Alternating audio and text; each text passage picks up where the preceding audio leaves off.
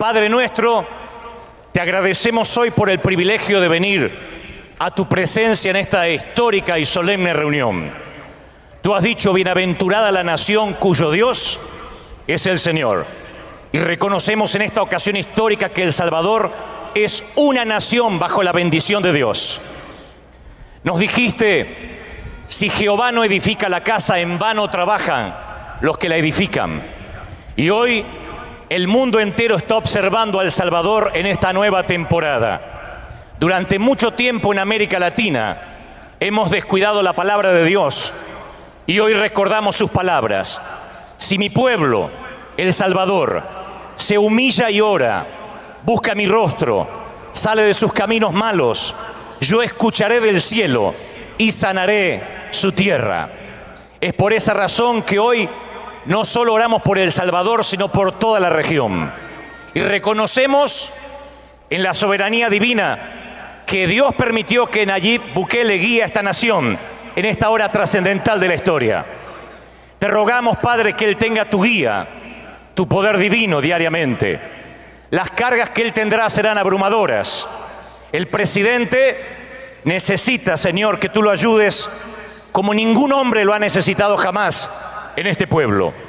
Protégelo del peligro físico, dale salud y en los momentos solitarios de decisión, de un valor inflexible para hacerlo moralmente correcto.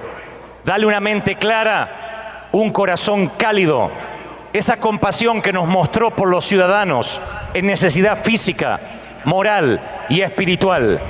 Así que hoy pedimos la bendición para el presidente, su esposa, la bebé que viene en camino. Oramos por el vicepresidente, miembros del gabinete, Asamblea Legislativa, Tribunal Supremo, para que todos los que sean responsables de esta nación tengan la bendición de Dios.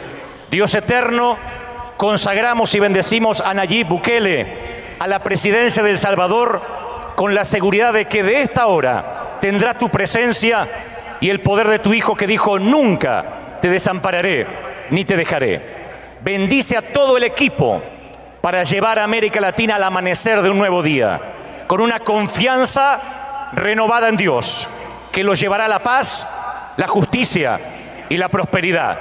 Padre, tú conoces los desafíos que el presidente enfrentará. Dale calma en medio de la agitación, tranquilidad en momentos de desaliento y tu presencia siempre. Oramos por su familia, pedimos protección, asignamos ángeles sobre todo su equipo y a través de la gestión que renueve toda la visión de América Latina, restaura la fe, reaviva el deseo de amar y de tener una nueva política en toda la región.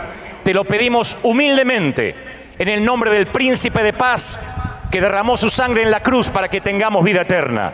Y ahora, República del Salvador, te bendigo con la bendición de Deuteronomio 28.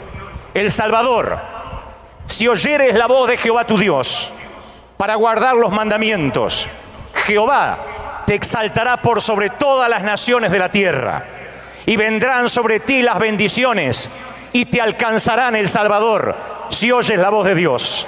Bendito serás en la ciudad y bendito en el campo.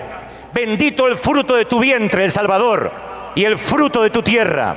Bendita será tu canasta y tu arteza de amasar. Bendito será tu entrar y tu salir. Dios derrotará a los enemigos que se levanten contra ti. Por un camino te vendrán a hacer mal, por siete se tendrán que ir. Él bendecirá tus graneros y sobre todo aquello que cualquier salvadoreño ponga su mano, Él te bendecirá. Abrirá Dios tesoros en el cielo para enviar la lluvia a su tierra, para bendecir la obra de tus manos. Dios te pondrá el Salvador por cabeza y no por cola. Estarás por encima y no por debajo si obedecieres los mandamientos de Jehová. Amén y amén. Que así sea hecho República del Salvador, nación bendecida por Dios. Buenas tardes.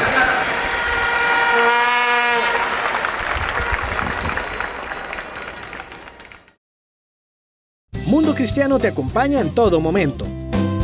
Infórmate al instante de los acontecimientos más relevantes del mundo desde una perspectiva cristiana. En Facebook, Twitter, Instagram y YouTube. Síguenos como Mundo Cristiano.